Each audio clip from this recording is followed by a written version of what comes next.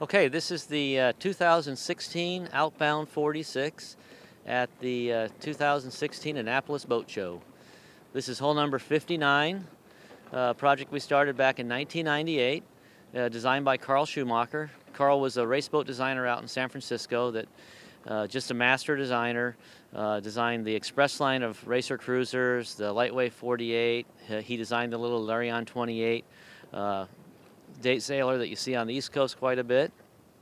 The goal was just a very conservative cruising boat for a couple uh, that they could take anywhere they want to go. Uh, she's solid glass hull, uh, Divinycell core deck. Number 65 is being built now. The boats have cruised all over the world. Been building the boat for 18 years and uh, still have a very strong following, doing a couple boats every year. Uh, this boat has the hard dodger option that we came up with last year.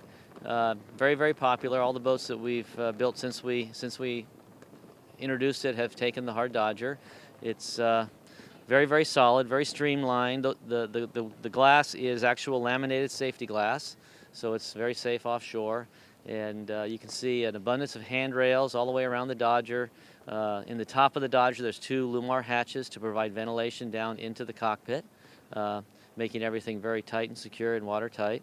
The, um, once again, you can see handrails all up and down the deck, large dorades. Uh, there's four large dorades, and those dorades have closures inside the cabin in the overhead so you can close them off from inside the boat if you needed to. Uh, the lifelines on the boat are 30 inches high, unlike most boats that are just 24. So once again, she's very, very secure offshore.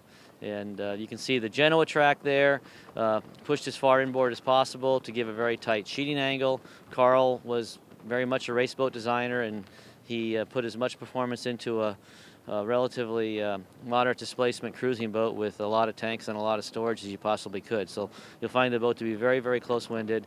And for a cruising boat of this, of this, uh, of this uh, quality, you'll see she's a very, very, very good sailing boat.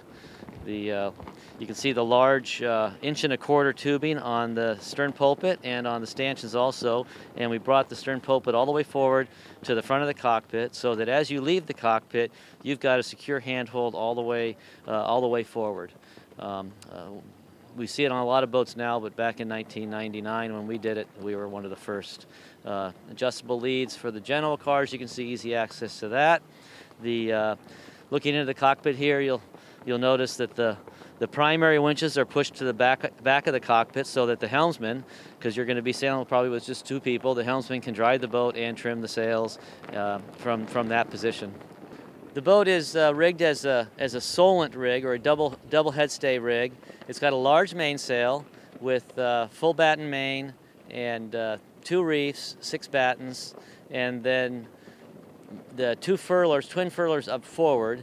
The inner furler is the Solent sail. That is about 100% jib. That becomes your working sail that you'll use 90% of the time. Upwind and um, and then downwind in any kind of breeze, you'll use the Solent sail also. Very easy, easily managed rig. The outer headstay is a 140% Genoa, high-cut Genoa. It's uh, medium weight, so you can use that upwind in light air, or you can use it off wind, off the wind in uh, in heavier breeze. The, uh, you'll see two large bow rollers up forward, uh, very, very efficient anchoring system. Um, the air draft of the boat, the height of the rig above the waterline is 63 and a half feet, so it is intercoastal friendly. Uh, the draft on the standard boat is six and a half feet. And several of the boats have gone through the intercoastal. We also offer a shoal draft version, which is a five and a half foot draft for people that are, that are living in uh, shallower areas like the Chesapeake. The standard mainsail on the boat is a full battened um, uh, conventional sail with lazy jacks. We use Antal low friction slides so it raises and lowers very easily and Spectra um, lazy jacks which provide uh, minimal chafe on the sail when the lazy jacks are deployed. The lazy jacks can then be pulled forward to the mast so you can put the sail cover on easily. This particular owner opted to go with the Dutchman system. Uh, you can see that there. We have also done leisure furl in boom furling on several of the boats and also in mast furling. Okay, we've moved up onto the, onto the foredeck here. You can see at the very front of the house here, there's a watertight bulkhead uh, that uh, separates the inside of the cabin from the sail locker and the chain locker. And then right on that watertight bulkhead, there's a large Wichard folding pad eye just, uh, just after the hatch there. And some people will opt to rig a storm jib stay on that pad eye that goes up to the second spreaders. And then up moving forward of that hatch, there's the uh, foredeck and the anchoring system. You can see that there's about a two two to three inch fiberglass bulwark worked into the tooling so that if you have to work the foredeck up here, you've got some support. The, uh, we, we, what we did is we tapered that bulwark to nothing back aft so that any water that comes aboard the boat offshore doesn't get carried all the way back to the cockpit. But up here on the foredeck, you've got a nice spot to really secure yourself in. Again, you can see the inch and a quarter uh, pulpits, uh, 30 inches high, unlike 24 like most other boats. Um, dual dual bow roller there. Uh, this boat, he opted to go with a Bruce anchor. Our standard anchor is the 33 pound or 33 kilogram Rocna, uh, which has kind of become the standard anchor these days. It's a it, we've been very fortunate that bow roller has pretty much fit every anchor we've tried on it, um, and it, they end up basically being self-launching. It's one of the features of the boat we don't really talk talk a lot about, but it's really sweet. Uh, you can almost you can lower that anchor with just a flip of your foot pretty easily. And then at the back, right after the, uh, the bow roller there, you see a scupper. Uh, great little feature, basically catches 99% of the water and the mud that comes aboard the boat with the anchor chain, and so you're not chasing mud down the deck every time you bring the anchor up. Um, to the starboard side of the roller there, there's a deck plate. That's for an extra rode uh, going into the split chain locker, but it also allows a spot for the power cord to go into the forward shore power connector. We're one of the only boats, I think, that offer a shore power connector both at the bow and the stern. So depending on how you're docked, uh, you can run a cord into the boat easily. Uh, that, that, that access there allows the cord to come down inside into the locker where there's a pow uh, power uh, power connector. The windlass is a Lewmar V4, uh, plenty of power for a boat of this size, and we, we offer a, uh, uh, the boat comes standard with a handheld remote that's kept in the locker. The foot switches are possible, but they have a tendency to fail and because they're in a very wet environment. So we found that the uh, the handheld uh, control is uh, just as as reliable, and you can move around the deck with it a little bit easier. Okay, again, this is the hatch into the forward locker. It's uh, recessed down so the foredeck's easy to work. Um, the locker is large enough for your asymmetrical chute, fenders, dock lines, you know, all the stuff you need offshore cruising, um, separated from the, from the cabin itself, so there's no reason to bring wet things into the cabin. Uh, the white box there at the very bottom is the bow thruster. So as you can see, it takes up very little space. And uh, it's an option, but it's, uh, it's one that most boats go ahead and get these days. Um, the uh, shelves along the side for storage, there's there's uh, spots to hang dock lines and things like that that are all set up. The locker drains into the main bilge, unlike uh, some boats put a bilge pump in a locker like this, uh, but we don't rely on a bilge pump up here that could fail. We have a, a watertight uh, tube that goes down into the main, main bilge, so if this ever was to fill with water, that it will drain to the main bilge and then be pumped out with the, with the uh, four bilge pumps that are back aft. Okay, we're now inside the locker looking forward into the chain locker. The locker is carefully designed. Uh, it's very deep and narrow, split in two. Uh, the idea being that you can stack 250 feet of chain in there without it piling up and hitting the bottom of your windlass like it does on so many other boats. You can be on deck and pull in the chain and not have to worry about coming down here to knock the chain over every, uh, every 25 feet. It drains over the overboard, directly overboard through the side of the hull, so that any of the wet wet water that comes aboard, the muddy water comes aboard, will go straight out back to sea, not into the boat. Okay, up on the foredeck still looking aft now. You can get a vision of how wide the side decks are, easy to move back and forth, for, you know, fore and aft on the boat. Again, you can see the high uh, high lifelines, inch and a quarter stanchions, and handrails everywhere. You can see the large dorades, four large dorades, two of them here by the mast, with the granny bars on each side, the mast pulpits we call them, uh, to give you a little more security if you have to work the mast offshore. Incorporated into the mast pulpit is a step there about halfway up so that you can reach up to the mast.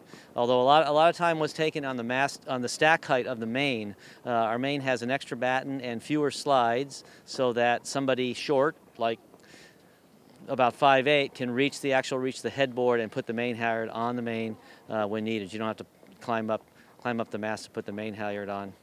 The uh, chain plates are two stainless steel chain plates sandwiched on each side of the main bulkhead uh, for very easy access and very easy to inspect.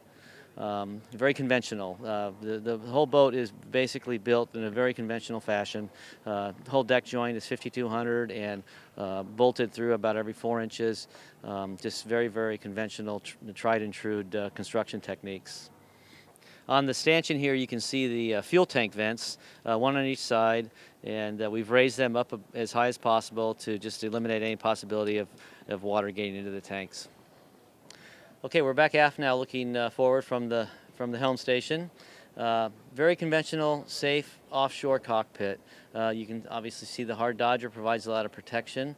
There's a nice breakwater there at the, at the, at the front of the Dodger there to keep water out of the cockpit. Uh, you can see electronics mounted nicely right on the Dodger coaming at the companionway.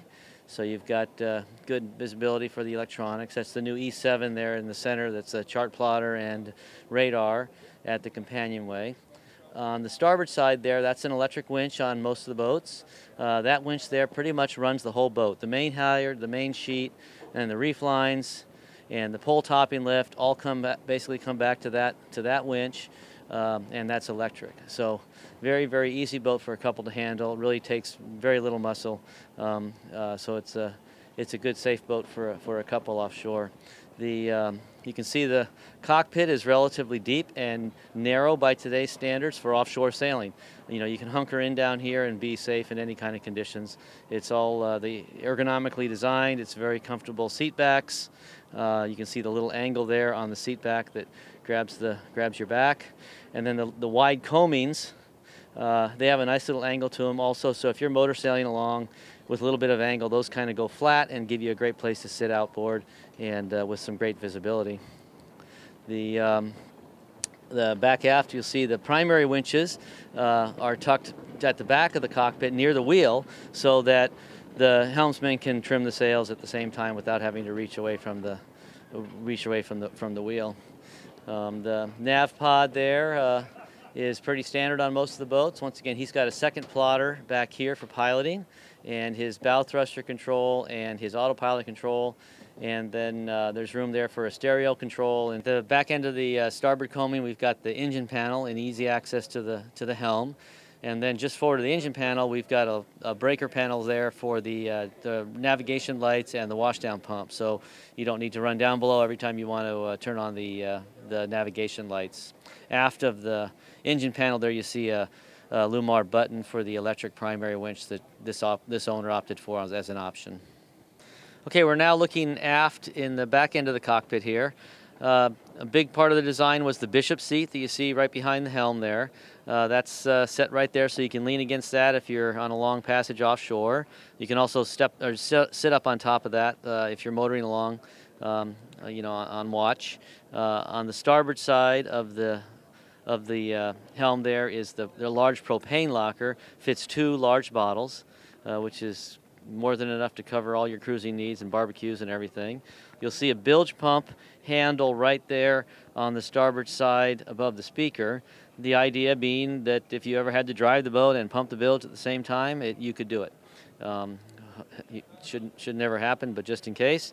You'll also see there's four uh, large Wichard folding pad eyes standard in the cockpit for hooking, uh, hooking a harness onto when you're offshore. Um, once again, you can see the primaries pushed back aft and easy access to the helm. Uh, there's a hydraulic backstay adjuster on the starboard side. Uh, you tighten that up to give the uh, give a lot more range to your sails by being able to get a maximum tension on the rig. You know, you can flatten the jibs and uh, and get a lot more range out of a, just the just the two sails. The um, uh, speakers uh, we install those at the factory.